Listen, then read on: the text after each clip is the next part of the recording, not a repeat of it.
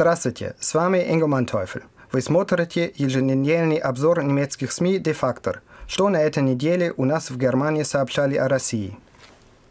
Дмитрий Медведев, видимо, в последний раз выступил с обращением к Федеральному собранию в качестве президента России, сообщает телеканал АРД и неожиданно объявил о политических реформах, многие из которых фактически упраздняют решения, принятые во время президентства Путина.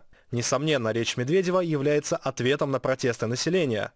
Однако способен ли президент за оставшиеся несколько месяцев изменить российскую политическую систему?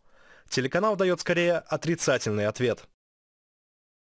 Еще в 80-е годы рок-музыка заменила в СССР политическую оппозицию, отмечает газета Франкфурта Альгемайне.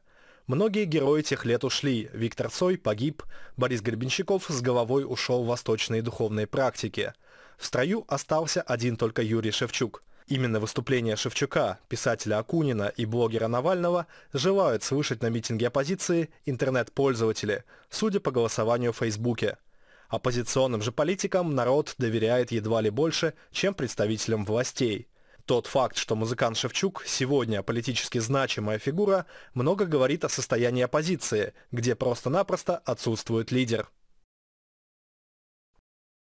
С утверждением о том, что в российской оппозиции нет лидера, не согласен телеканал ЦДФ. Пока начинает свою работу Дума нового созыва, выбранная с вопиющими нарушениями закона, из спецприемника выходит осужденный на 15 суток блогер Алексей Навальный – Именно он, по мнению телеканала, становится звездой российской оппозиции.